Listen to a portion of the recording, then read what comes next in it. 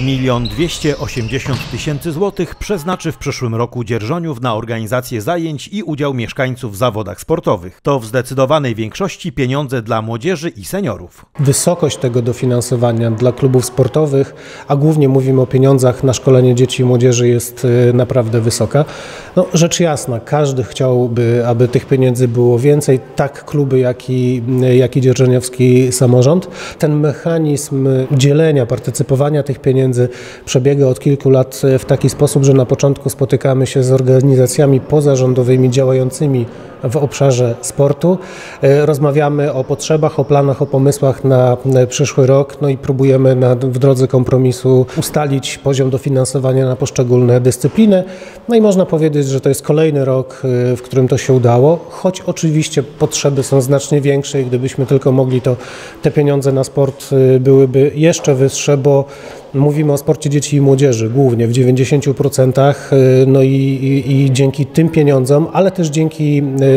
dzięki samym klubom, które pozyskują środki od sponsorów czy, czy z różnego rodzaju programów krajowych i unijnych, y, mamy w Dzierżoniowie z jednej strony bardzo dużą paletę dyscyplin sportowych, które w sposób zorganizowany można w mieście uprawiać, no i przede wszystkim mamy bogatą ofertę y, dla, dla dzieci i młodzieży i to jest taka alternatywa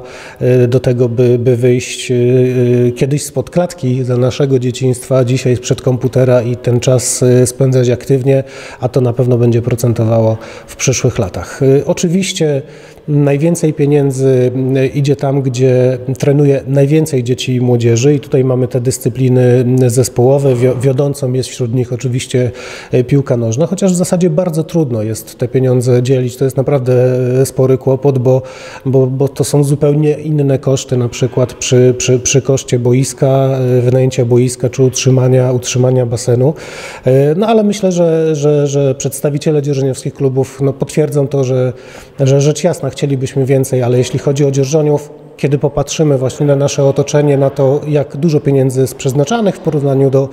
do, do tych y, miast sąsiednich, y, można powiedzieć, w dalszym ciągu mocno stawia na sport i na wychowanie poprzez sport, bo to jest y, jedna z kluczowych i, i niezwykle, niezwykle ważnych dziedzin w takim procesie wychowywania młodych ludzi. Te pieniądze, które dajemy, to jest część środków, które idą na sport, bo i kluby wykonują świetną pracę, sięgają po pieniądze zewnętrzne,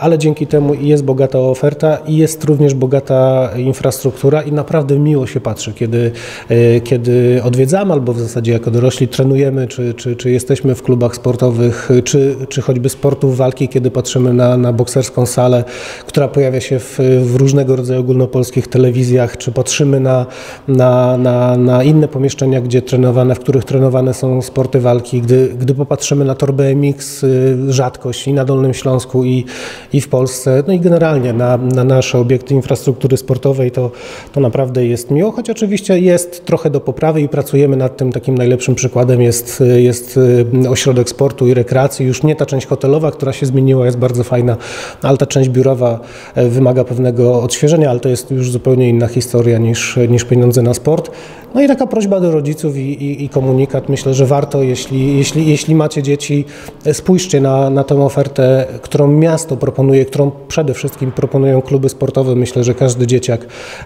z tej palety coś dla siebie wybierze, no a nie ma nic, nic lepszego niż, niż postawienie na, na, na sport i na aktywność, taką zwykłą, codzienną. To będzie procentowało. Oprócz tych środków miasto, podobnie jak w minionych latach, będzie też wspierać zawodowych sportowców, między innymi naszego olimpijczyka Pawła Juraszka. Szczegółowe informacje dotyczące przyznanych kwot na poszczególne stowarzyszenia i organizacje sportowe znajdą Państwo na naszej stronie internetowej.